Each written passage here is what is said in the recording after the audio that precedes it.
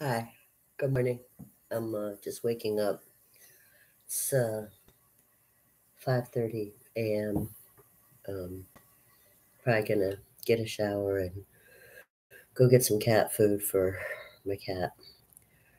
I just woke up and uh, was watching an episode of a show that was, you know, successful, s- sort of, and it has some really good things going on about it. But then, as a writer, I was just, uh, I, I, you know, it's not, it's hard for uh, a writer to watch a show and not be critical. It, it, I, I mean, because even if I suck at writing, it, it's like I still know what is logical and, and makes sense in a story.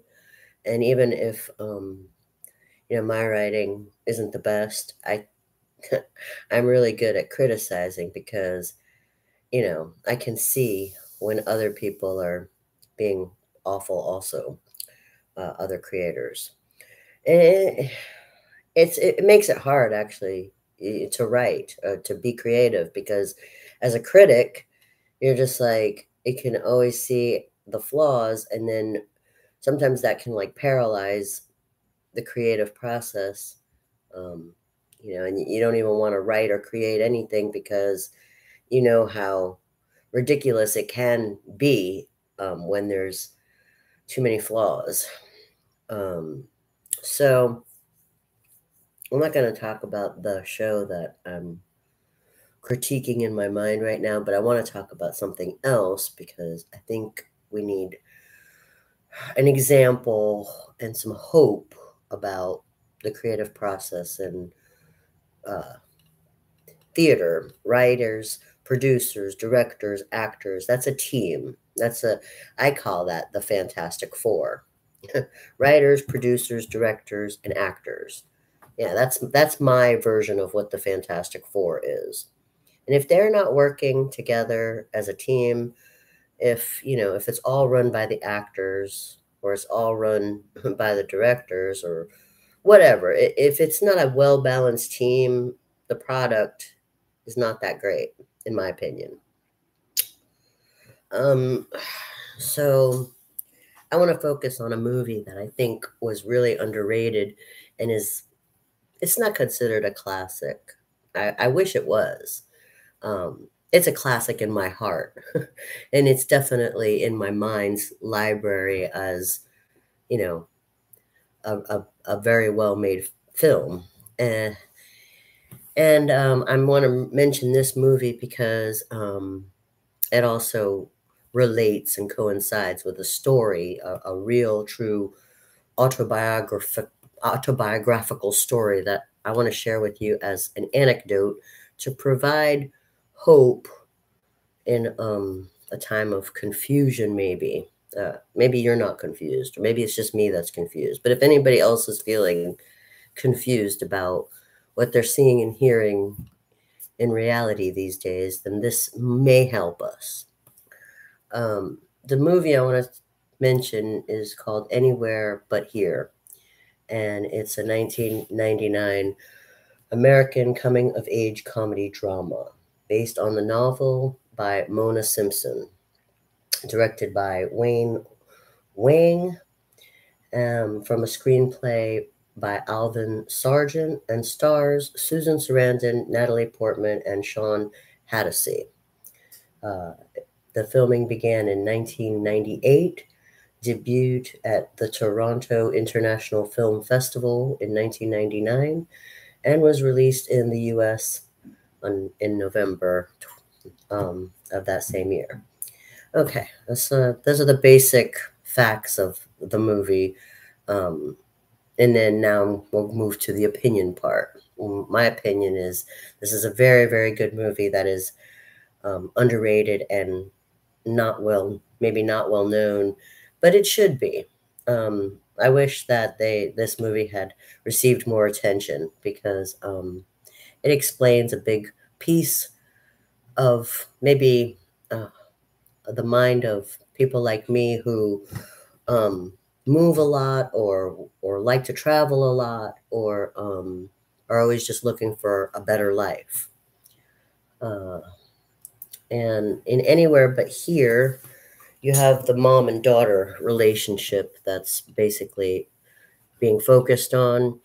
And, and that's symbolic of, you know, the generation gap, which happens over and over again in different cultures, countries, whatever. It's the mother daughter relationship, how they're the same, how they're different. And it's really uh, communicated and expressed well in that movie because it's typical, but it's, you know, it's not just typical. It's typical in the fact that yeah, the young the young daughter, you know, has all this angst about her her mother. But it's not typical because it also shows how close they are and how they really do understand each other, even though they're approaching things differently. And uh, and they may have different opinions based on different experiences, but you can still see how close they are. And I like that depiction. Um, know, moving to my personal autobiographical story that coincides with this movie, I want to say I have a memory in my mind of 1983 when um, my mom, it was the first time I ever saw my mother cry.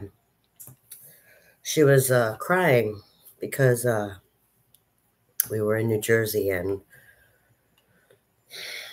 she, things didn't go, you know, according to plan. Things fell apart for her. And um, I was in sixth grade and, you know, uh, I was having my own troubles in sixth grade. Um, I was, my troubles were basically small, I guess, in comparison to what she was going through. Uh, my troubles were I was a dork, getting bullied, and I didn't want to go to school. That was my troubles. Her troubles was bigger than that. um, basically, her relationship fell apart, and she had no idea, you know, how how to take care of me at that point. Uh, I mean, I was in sixth grade. I still had six more years to go before I graduated high school, and she was pretty much at the end of her rope. She didn't know what to do. Um, and so she just out of the blue came up with this idea. Uh, let's get out of New Jersey. Let's move to Florida. She didn't know anybody in Florida, not a soul. Uh, and, uh, you know, she just looked at me and said, I don't know what to do anymore. You want to go to Florida? And I was like, okay. Yeah, so we did. We just packed up the car and went to Florida. And there were a lot of good and bad things about that decision, but um, that's the part that coincides in my mind and in my heart with that movie, Anywhere But Here. It's a mother daughter relationship and it's also why it also shows why people decide to leave somewhere uh, and i know i know because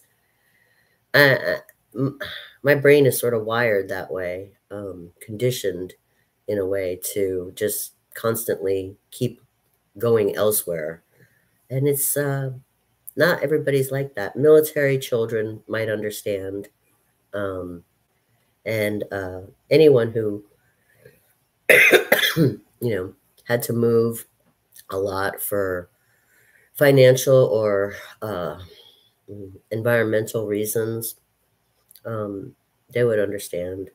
But eh, sometimes it works out. You know, it worked out for my mom. I mean, her decision to come to Florida pretty much worked out in her favor. And I guess in mine, in sort of trickle down ways. Um, but I I didn't really like moving a lot when I was a kid. I just wanted to stay in one place and make some friends. I wanted I thought that was, you know, normal for kids to stay in one place and, and that's what the other kids were always talking about. I've never been anywhere. I, but they had all you know all kinds of friends um but i don't know maybe maybe what i wanted was not possible maybe i didn't even know what those kids who never went anywhere or never moved from school to school. Maybe maybe I didn't know the different stories about what they had seen and experienced. Um, I really don't know if there's a an answer, you know, as far as what's a happy childhood. Uh, but um, I do know that that movie, Anywhere But Here, is a well done movie. Uh, it has a good story. It has two really wonderful characters who you you understand, and it in and the mother daughter relationship, you know, or symbolic of a generation gap, is um is a very difficult difficult relationship. Even the best mother daughter relationship has some stingers in it. Um, so I think it's a good movie, and I think it's the kind of filming, the kind of story that we need from artistic output at this time.